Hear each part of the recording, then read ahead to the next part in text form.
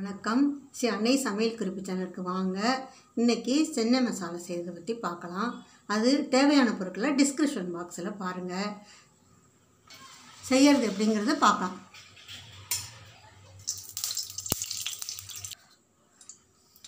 எண்ணெய் காஞ்சிருச்சு. கிராம்பு ஒரு கிராம்பு ஒரு ஏலக்காய் பட்டை ஒன்று ஓமம் ஒரு சிட்டிகை ஜீரகம் ஒரு சிட்டிகை சோம்பு ஒரு சிட்டிகை எல்லாத்தையும் போடுறேன் என்னங்க பிரிஞ்சி ரெண்டு போட்டுருக்கேன் ஒரே ஒரு பச்சை மிளகாய் கருவேப்பிலை பொடி பொடியாக நறுக்கி வச்சுருக்கேன். பூண்டு இஞ்சி அரை இன்ச்சு பூண்டு பூண்டு வரும் மசாலா அரைச்சி வச்சுருக்கேன். பெரிய வெங்காயம் நாலு வெங்காயம் பொடி பொடியாக நறுக்கினதை போடுறேன். தக்காளி பழத்தை போடுறோம்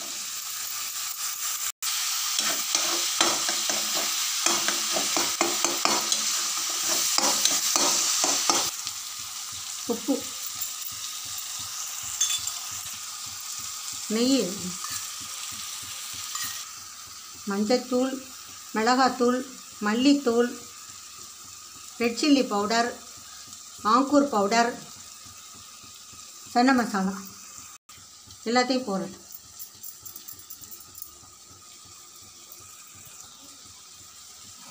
தயிர் போட்டேன் கட்டி தயிர் ஒரு அரை கப்பு முந்திரி பவுடர் பவுடர் பண்ணி வச்சேன் முந்திரி பவுடர்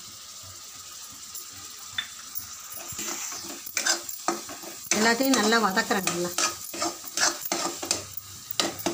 எல்லாம் நல்லா பேஸ்ட் மாதிரி ஆயிடும் நல்லா வதங்குறேன்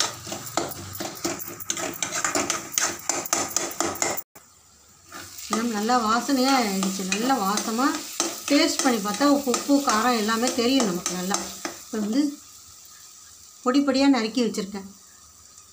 பொடிமடியாக நல்லா இது உடம்புக்கு ரொம்ப நல்லதுங்கிறதால இதையும் நான் போடுறேன்.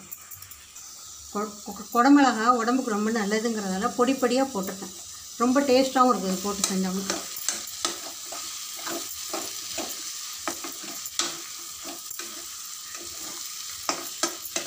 இந்த சுண்டலை போட்டு இப்போ சுண்டலை குக்கரில் வேக வச்சதை போட்டேன்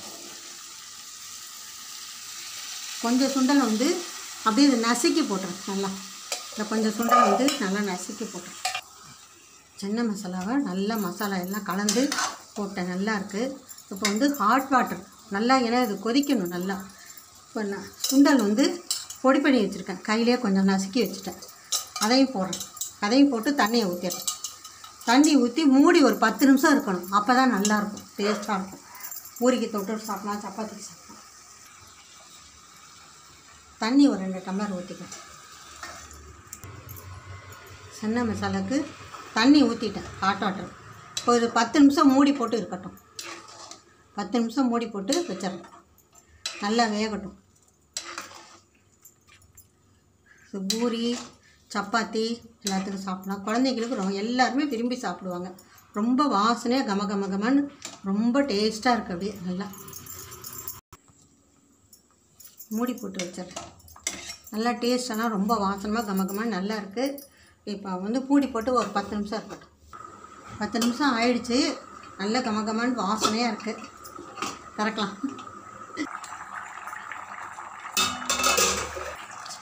சென்னை மசாலா சூப்பராக கம கம கமன்னு வாசனையோட ரெடி ஆகிடுச்சு இப்போ வந்து சர்க்கரை ஒரு ஸ்பூன் போட்டுறேன். சர்க்கரை போட்டு கொத்தமல்லி பொடி பொடியாக கட் பண்ணி வச்சுருக்கேன். போட்டு ஸ்ப்ரெட் பண்ணி விட்டுறேன்.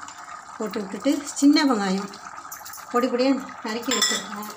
எலுமிச்சம்பழம் இருக்குது சர்வ் பண்ணுறப்ப நம்ம வச்சு பாருக்கலாம். இப்போ சின்ன வெங்காயம் பொடி பொடியாக நறுக்கினதையும் அப்படியே தூவி விட்றேன் ரொம்ப நல்லா வாசமாக நல்லா இருக்கும். பொடி பொடியாக நறுக்கி தூவி விட்றேன்